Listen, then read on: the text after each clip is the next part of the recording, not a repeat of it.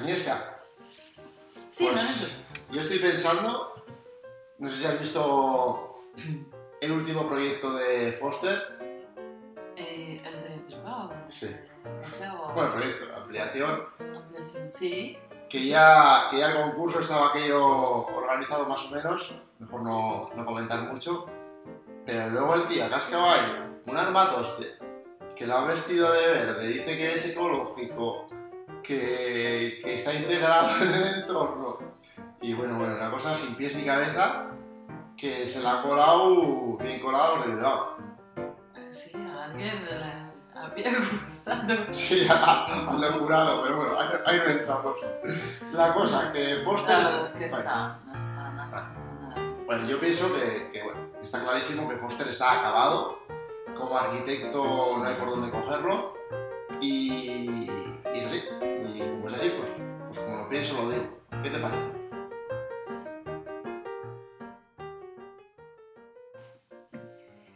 Eh, pues este pequeño teatrillo que hemos hecho con Lorenzo para introducir, empezar este vídeo, eh, es para mostraros cuántas veces eh, medimos una cosa y la trasladamos a todo. No es que Foster esté acabado, no es que esté mal toda su trayectoria, es que, bueno, que igual no todos sus proyectos son iguales de buenos, pero eh, este sesgo cognitivo de valorar una parte pequeña como si fuera todo, pues nos pasa mucho a los arquitectos. Bueno, a los arquitectos y a cualquiera. De hecho, me estoy acordando que yo todos los días que voy a recoger a mi hijo pequeño una especie de guardería pequeñita, hay un señor en la puerta fumando un puro. Yo odio fumar, odio el olor a tabaco y sobre todo el de los puros. Pues a ese señor todos los días lo odio con todas mis fuerzas. O sea, yo normalmente soy bastante tranquilo, pues ese rato no. Y, y- y no es que piense, qué mal que está fumando un puro, no, yo pienso, ese es un de todo, le, le digo de todo, ¿no? Claro, luego si, si, si lo entiendo un poquito más, con más calma, el señor pues es una bellísima persona que simplemente le gusta fumar puro, ¿no? Y el problema lo tengo yo, pero bueno, esto es lo que sería el primer sesgo cognitivo, de, el primero de los 10 que os vamos a contar. Porque hoy venimos aquí a hablar, Inésca, Hoy hablaremos de sesgos cognitivos en la arquitectura. ¿y quién va a hablar? Agnieszka Stepien, Y Lorenzo Barno. Stepien Ibarno, desde el 2009 en la red y grabando vídeos y esperando que, que os gusten. El segundo sesgo cognitivo sería tener un exceso de información. Es decir, eh, los sesgos cognitivos principalmente lo que nos pasa es que pasa algo en la realidad y nuestras decisiones aparentemente racionales no van bien. Eh, y dices, ¿por qué? Pues en este caso, cuando hay un exceso de información, la gente se saturulla, no sabe muy bien cómo reaccionar y se queda como esta cosa de parálisis por análisis. Pasa mucho, por ejemplo, yo que juego ajedrez, eh, en un momento dado, en la media partida, cuando hay muchas posibilidades, de repente dices, ay, ¿y si hago esta? ¿Y si hago la otra? Y dudas mucho, claro, dudas mucho porque somos jugadores, digamos, de nivel medio. Los expertos ni siquiera dudan ahí, de repente, pam, pam, pam, y esto es información, pero como son tan buenos y tienen tantos patrones internos de ajedrez, deciden súper rápido y sin ningún tipo de duda. Nosotros normalmente fracasamos. Sin embargo, los arquitectos, aquí tenemos un plus que nos viene bastante bien, ¿no, Agnieszka? Sí, sí, desde luego. Eh, los arquitectos tenemos una ventaja y una, eh, una característica muy, muy, muy valiosa de saber traducir una situación muy eh, compleja, un contexto, un- una, una cantidad de variables, eh, mm, bueno, muy grande, eh, y traducirlo a una solución muy sencilla. Y eso es mm, lo, que, lo más valioso que podemos aportar a la sociedad. Es decir, que tenemos una virtud como arquitectos que la podemos aprovechar para proyectar o para muchísimas más cosas. Pero eso ya es otro tema. El tercer... Bueno, pero esto, eh, por eso arquitectos somos, mm, podemos aportar a muchos más campos desde esta visión tan transversal que somos acostumbrados a hacer. Y de hecho hay algunos que lo hacen, algunos y algunas, pero bueno, por ahí hay un potencial que podríamos aprovechar muchísimo más. El tercer sesgo cognitivo, que no nos va nada bien en general, es tener exceso de conocimiento. Ya no información, sino conocimiento. ¿Y qué nos pasa a los arquitectos normalmente? Que evidentemente sabemos muchísima arquitectura. Además sabemos arquitectura a un montón de escalas, desde cosas de diseño hasta cosas de urbanismo. Una cosa loquísima que el resto de la sociedad seguramente ni se podría imaginar que cabe tanta cosa concentrada dentro de nosotros, pero esto también tiene un inconveniente, ¿no, Agnieszka? Peligro, peligro, sí, sí. Porque si empiezas a hablar con la gente que quizás no, es arquitecta o arquitecto o no conoce tan bien el campo de arquitectura, de repente te puedes eh, encontrar con una pared transparente de falta de comunicación. Cuando empiezas con tu lenguaje complejo de arquitecto o eh, cuando te preguntan una cosita sencilla sobre su eh, próxima vivienda y empiezas a explicarles cosas de... Sí, que no funcionan. y al final nuestra, nuestros lenguajes no son los más apropiados y la distancia entre los arquitectos y la sociedad siempre ha sido muy grande. Por suerte hay iniciativas, y de eso hablamos bastante en este video, que van acortando esta distancia, pero por ahí vemos que pasan cositas. El cuarto efecto de temas de sesgos cognitivos sería el que se viene a llamar Dunning-Kruger. Y viene a ser algo que pasa mucho en la asignatura de proyectos. Efecto Dunning-Kruger eh, tiene su peligro también en arquitectura. Eh, bueno, también puede ser bueno, pero muchas veces, sobre todo en la carrera, eh, nos, hace sentirnos mal cuando un profesor nos trata mal, diciendo que no sabemos nada, que... En realidad, esto que cuentas, Agnieszka, es algo que nos ha pasado a todos en la asignatura de proyectos, de ver cómo el profesor se pone tan por encima, trata tan mal a los alumnos, alumnos que son bastante brillantes en general, y sin embargo el profesor sigue pensando que los alumnos no valen para nada, o no valen para nada respecto de lo que él piensa que es un, un buen alumno de arquitectura, y yo tengo el recuerdo de no uno, sino varios profesores tratar muy mal y alguno hacer llorar a los alumnos. Eso no tiene ni pies ni cabeza. Creo que por suerte esto ya hoy en día no, no, es, no es tan así. Pero, pero lo fue, lo fue y no estamos hablando de hace, tenemos ya unos años, pero no, no, de hace tantos años.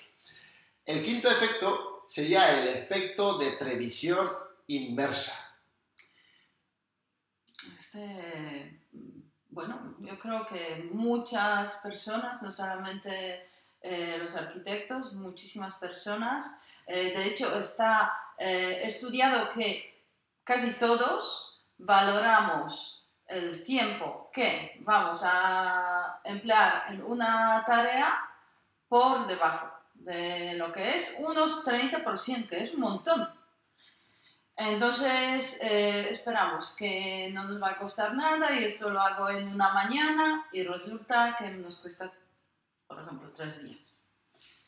¿Qué pasa ahí, Lorenzo? Pues también pasa cosas como cuando recordamos el tiempo que hemos estado haciendo algo, pensamos que hemos estado un par de horas y nunca, evidentemente, hemos estado un par de horas. Nuevamente, el control que tenemos sobre el tiempo varía entre un 30% para arriba o para abajo, en este caso puede ser tanto para arriba como para abajo, pero fallamos seguro. Y esto no lo inventamos, y esto no es algo que nos parece que es. Hay estudios científicos que lo, que lo atestiguan a nosotros personalmente usar una herramienta como Toggle para medir el tiempo que empleamos en cada cosa, en cada tarea, y que sacamos al final cada proyecto, cuánto tiempo hemos invertido, ha sido crucial. Y ya lo hacíamos desde hace bastante tiempo y ahora lo hacemos con una manera bastante detallada. Al final es buenísimo hacer una radiografía de cómo estás empleando realmente tu tiempo y no de cómo crees que lo has empleado o cuánto tiempo crees que te va a costar hacer algo. Cuanto más racionales y objetivos seamos en este campo, muchísimo mejor. Sexto punto. El sesgo del... Punto ciego. Ahí podríamos aplicar el dicho de ver la paja en el ojo ajeno en vez de la viga en el ojo propio. Y, eso es algo que pasa en general y también pasa mucho dentro del mundo de la arquitectura y los arquitectos. Y tiene que ver mucho con la humildad. Eh, no somos la profesión más humilde del planeta, evidentemente. En algunos casos el ego está desbocado. Entonces, cuanto mayor ego, mayor distorsión de, de la realidad, así de sentido. Cuanto más humildad y cuanto más conciencia un poquito de cómo son las cosas, pues más vamos a ver lo que realmente también hacemos nosotros mal. Y esto se ve en la red así. Y en séptimo lugar tenemos el sesgo del efecto encuadre. Cuéntanos, Agnieszka, de qué va este sesgo. Consiste en que en función de la explicación que damos, conseguimos o no conseguimos una cosa. Esto se ve muy claramente en nuestra relación con, con los clientes. Efectivamente, por ejemplo, si un fontanero viene a casa y te cobra 100 euros por haber hecho no sé qué en la cisterna, pues bueno, el tío al final te lo especifica, te, dice las horas que has estado, te dice los materiales que ha usado, no sé qué, y bueno, pues me parece muy caro, pero lo pago, ya está. Sin embargo, los arquitectos que cobramos por un proyecto de una unifamiliar, 10.000, 15.000 euros, lo que toque, y, queremos cobrarlos así como sin más, pues no, eh, parece como que no, nos, no lo explicamos muy bien en qué vamos a invertir todas las horas que vamos a invertir en ese proyecto, no explicamos muy bien la responsabilidad brutal que asumimos por ese proyecto, que al cliente pues, le puede parecer más o menos, pero nosotros sabemos que aquello seguramente va a ser una locura y como sea una reforma un poco complicada y demás entre medianeras, pues ya ni te cuento, solo por la responsabilidad ya no nos saldría a cuenta el proyecto, pero todo eso no hemos terminado ni de explicarlo bien a un nivel individual cuando hacemos un proyecto, ni mucho menos como colectivo de transmitir este, esta serie de ideas a una sociedad que por supuesto le vendría muy bien saber esto para valorarnos más y saber que nuestro trabajo es realmente importante, ¿no? El octavo sesgo, ¿cuál sería? El sesgo de confirmación. Sí, que solemos creer, mm, lo creemos mucho, nos convencen mucho más de lo que ya estamos convencidos o los desconvencen de lo que no estamos convencidos. Todo lo que afirma, lo que ya sabemos o eh, en lo que creemos o queremos creer, pues lo añadimos a nuestra carpeta de que sí a esto y que no a lo otro. Y al contrario, es mucho más complicado. De hecho, nuevamente en la arquitectura se ve muchísimo cuando de repente pues, Foster, por, volver a traer a Foster, si Foster de partida de interés. Foster. No, voy a, voy a, hablar bien, voy a hablar bien. No, que si de partida te interesa Foster mucho, pues precisamente esto de Bilbao, pues a lo mejor lo ves con mejores ojos. Si eres como más neutro respecto de Foster, pues puedes ver una realidad más clara. En nuestro caso, eh, si Siza se pega una cagada impresionante en el próximo proyecto, que no creo porque es imposible, pues nosotros... cognitivo, cognitivo. nosotros ya nos aseguramos que no la vamos a ver. No la vamos a ver porque siempre le vamos a ver el lado positivo de eso, porque siempre será un Siza y siempre habrá algo chulo, habrá miles de encuentros y habrá algo que, que, veamos positivo y nunca le vamos a ver esa pega que otro dirá, oiga, a mí me interesa la arquitectura bioclimática y bioconstrucción, justo sé que necesita y me interesa mucho su trayectoria y de repente ve aquí y dice, pero ¿qué es esto? Si esto no hay por dónde cogerlo. Él será mucho más objetivo que nosotros eh, a la hora de valorar la próxima cagada imposible de Álvaro Silva. El noveno sesgo, el sesgo de recompensa inmediata. Muchísimas veces a un nivel de estratégico en los estudios de arquitectura eh, nos vamos planteando cosas de hacer y cosas de no hacer. De hecho, eso lo vemos muchísimo en nuestros cursos de productividad y de identidad digital, gente que, que sale del curso súper convencida de decir, pero yo no voy a volver a hacer una tasación en mi vida, o yo no voy a volver a hacer una reforma o, algo con los vecinos, con vecinos. El tema de los vecinos nos ha pasado más O me dedico solamente a las tasaciones. o solamente a las comunidades de vecinos. Pero bueno, normalmente dices que no a una cosa pensando que estratégicamente va a ser bueno para el estudio, pero luego llega el lunes y de repente tienes la llamada del cliente de toda la vida que te vuelve a pedir una reunión con unos vecinos en un portal para hacer una no sé qué la entrada y meter un ascensor y tú dices, joder, pues acabo de decidir que eso no lo voy a hacer. Pero de repente dices, ahí va, pues si son 3.000 euritos, si es que me van a venir muy bien este mes esos 3.000 euritos, pues espérate que igual por uno más, no, pues ya, ya, ya le escribo como, como que ya hablamos de la reunión. Y lógicamente, pues, eso es entrar nuevamente en el oído. Sí, mucho peligro, mucho peligro. eh, y último sesgo, es el, es el más habitual de todos, que es el sesgo del efecto arrastre. Lo vemos muchísimo por internet, que ya hasta para ir a cortarte el pelo entras en una peluquería y si no tienes 20 o 30 opiniones de que me han cortado el pelo bien y que son más las peluqueras o los peluqueros, pues ni te planteas ir. Sí. en arquitectura también nos podemos encontrar este sesgo muy claramente. En caso de los clientes lo vemos, bueno, muy fácil cuando eh, de repente te viene un cliente, mira que lo he consultado con la vecina de abajo y que el primo que quiere ser arquitecto pero todavía está en bachillerato en tal.